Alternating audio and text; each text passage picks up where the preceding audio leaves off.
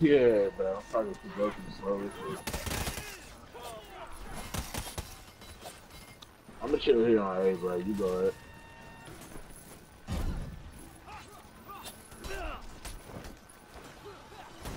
Oh my god.